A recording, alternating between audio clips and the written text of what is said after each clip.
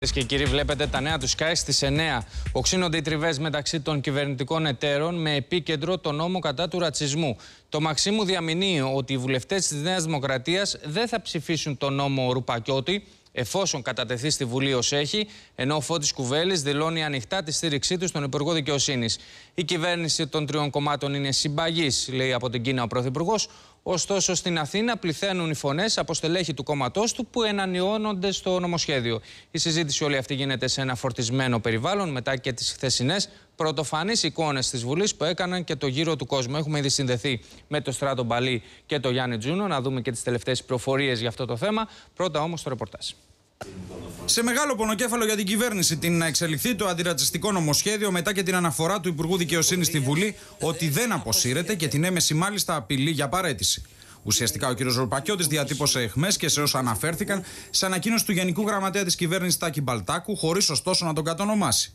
Η απάντηση από το Μέγαρο Μαξίμου ήταν άμεση σε μια προσπάθεια να κλείσει οριστικά αυτή η διαμάχη για να μην προκληθούν νέες τριβές στην τρικοματική κυβέρνηση. Οι βουλευτές της Νέας Δημοκρατίας δεν πρόκειται να ψηφίσουν ένα νομοσχέδιο του οποίου διατάξεις φημώνουν τις ένοπλες δυνάμεις και την Εκκλησία. Τη στήριξή τους στον Αντώνη Ρουπακιώτη εξέφρασε ο πρόεδρος Δημοκρατικής Αριστεράς Φώτης Κουβέλης. Ταχθήκαμε υπέρ της άμεσης υπερψήφισης του αντιρατσιστικού νόμου. Καθώς κρίνουμε ότι η αυστηροποίηση του νόμου είναι μονόδρομος. Εξάλλου το, το περιεχόμενο του νόμου αυτού παίρνει υπόψη του αυτό που σε όλες τις προηγμένες δημοκρατικές χώρες είναι κεκτημένο.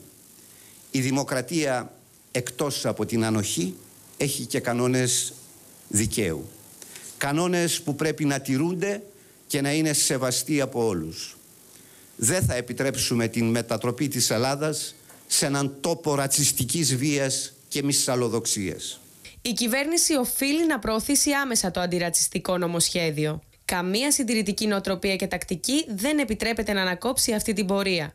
Καμία ολιγορία δεν επιτρέπεται. Για σκόπιμη καθυστέρηση στη συζήτηση και ψήφιση του νομοσχεδίου κατηγόρησε τον ίδιο τον Πρωθυπουργό ο Αλέξης Τσίπρας από το βήμα της Κεντρικής Επιτροπής του κόμματός του. Η Χρυσή Αυγή επιχείρησε να προκαλέσει για άλλη μια φορά μέσα στο Κοινοβούλιο αμέσως μετά τη συζήτηση για ένα αντιρατσιστικό νομοσχέδιο που εξαφανίστηκε.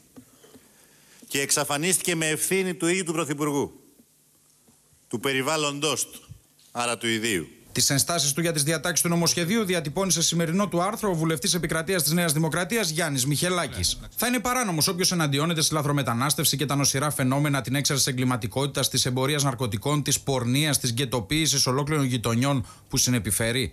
Εάν κάποιος βουλευτής προτείνει μέτρα εναντίον της λαθρομετανάστευσης, θα διώκεται. Στο νομοσχέδιο προβλέπεται φυλάκιση από 6 μήνες έως 5 χρόνια, χρηματικά πρόστιμα από 5 έως 20.000 ευρώ, στέρηση πολιτικών δικαιωμάτων από 1 έως 5 χρόνια. Για νομικά πρόσωπα και πολιτικά κόμματα, πρόστιμα από 15 έως 200.000 ευρώ, ανάκληση ή αναστολή άδειας λειτουργίας έως 6 μήνες και αποκλεισμό από δημόσιες παροχές, ενισχύσεις και επιδοτήσεις. Το ζήτημα αναμένεται να είναι στην κορυφή της ατζέντα στη συνάντηση των τριών πολιτικών αρχηγών που κάποιοι τοποθετούν τη μεθεπόμενη εβδομάδα μετά και τη Σύνοδο Κορυφής στις 22 Μαου στις Βρυξέλλες. Για να δούμε λοιπόν πώς έχει το θέμα. Να αρχίσουμε από σένα, Στράτο Μπαλί. Το θέμα αυτό βρίσκεται στο προσκήνιο, εξακολουθεί μάλλον να βρίσκεται στο προσκήνιο, μεταξύ άλλων σε μια περίοδο κοινοβουλευτικών ε, εντάσεων. Και είδαμε πριν από λίγο στο ρεπορτάζ τον κύριο Κουβέλη, έναν από τους ε, κυβερνητικούς εταίρους, να δηλώνει ε, την στήριξή του στον κύριο Ρουπάκιωτη. Και δεν είναι τυχαίο, Σπύρο, ότι ο κύριος Κουβέλης στην ομιλία του σήμερα δεν αναφέρθηκε στα ε, όσα απίστευτα έγιναν εχθές στη Βουλή. Επέλεξε όμως να κάνει αυτή τη συγκεκριμένη αναφορά για τον αντιρατσιστικό νόμο, θέλοντας έτσι να δείξει την ε, σαφή υποστήριξή του προς τον Υπουργό Δικαιοσύνης, τον κύριο Ρουπακιώτη. Ε, περισσεύει να πω ότι ο κύριος Ρουπακιώτη ε, είναι στην κυβέρνηση Σαμαρά μετά από υπόδειξη της Δημοκρατικής Αριστεράς. Ε, αυτό που λένε στην Δημοκρατική Αριστερά είναι ότι δεν υπάρχουν περιθώρια ε, για ε, να κάνει πίσω η κυβέρνηση αυτό το ζήτημα. Ε, έχει σημασία το ότι ο κύριος Κουβέλης δεν αναφέρθηκε διεξοδικά στο αν το νομοσχέδιο θα πρέπει να πάει στη Βουλή έτσι όπως το στείλε ο κύριος Ρουπακιώτης ή όχι. Ωστόσο, νομίζω ότι με την αναφορά του κατέστησε σαφές, σαφές ότι α, στηρίζεται απολύτως ο κύριος Ρουπακιώτης από την Αγίου Κωνσταντίνου και μάλιστα μία ημέρα μετά την σαφή απάντηση από το Μέγαρο Μαξίμου. Πάντως δεν είναι μόνο ο κύριος Κουβέλης και η Δημοκρατική Αριστερά και το Πασόκ κάνει λόγο για ολιγορία. Και το Πασό και η κυρία Γεννηματά σήμερα μίλησε για ολιγορία, αφήνοντας κάποιες εχμέ για συντηρητικές νοοτροπίες. Και μάλιστα το Πασόκ βάζει στη συζήτηση και τη δική του πρόταση ε, νόμου που έχει καταθέσει για το θέμα ε, της ρατσιστικής βίας, διότι δεν πρέπει να ξεχνάμε ότι ένα διάστημα αρκετά αρκετών μηνών πριν ο κ. Βενιζέλος είχε βάλει ψηλά στην ατζέντα το θέμα της ε, Χρυσής Αυγής.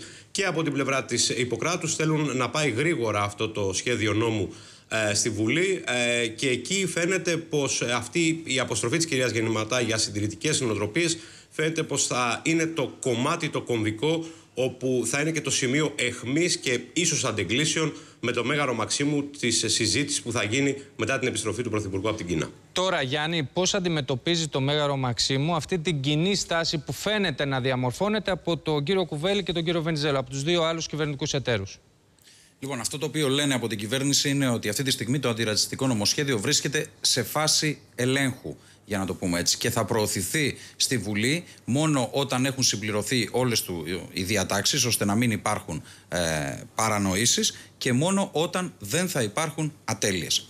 Στην ουσία, Σπύρο, αυτό το οποίο λένε από την ε, κυβέρνηση είναι καταρχήν εκφράζουν μία απορία για τη στάση του κυρίου Ρουπακιώτη. Υπό την έννοια ότι ο κύριος Ρουπακιώτης γνώριζε και το περιεχόμενο της ανακοίνωσης από την πλευρά του κυρίου ε, Μπαλτάκου. Αυτά τα οποία έγιναν δηλαδή πριν από μερικές μέρες. Έτσι εκφράζεται μία απορία για τις χθεσινές του δηλώσεις και μάλιστα ακόμη και την απειλή για, για παρέτηση. Τώρα, είναι ενδεικτικό το μήνυμα το οποίο στέλνει το Μέγαρο Μαξίμου. Το είδαμε και στο βίντεο. Δηλαδή ότι ένα τέτοιο νομοσχέδιο, έτσι όπως έχουν μέχρι, μέχρι στιγμής οι διατάξεις του, θα φημώσει εκκλησία και ένοπλες δυνάμεις. Είναι παραπάνω από σίγουρο και βέβαιο ότι κάτι τέτοιο δεν το επιθυμεί ο Πρωθυπουργός. Και προσθέτουμε μία ακόμη παράμετρο. Ε, αυτό το οποίο ε, είδαμε ότι δεν θα περάσει δηλαδή από βουλευτές της Νέας Δημοκρατίας, κάτι το οποίο λέγεται από πηγές του Μεγάρου Μαξίμου, ε, γίνεται διότι ουσιαστικά εκτιμούν ότι ένα τέτοιο αντιρατσιστικό νομοσχέδιο θα ενδυναμώσει τη Χρυσή Αυγή. Είναι κάτι το οποίο οπωσδήποτε σε καμία περίπτωση δεν Μάλιστα. επιθυμούν ούτε στην κυβέρνηση αλλά ούτε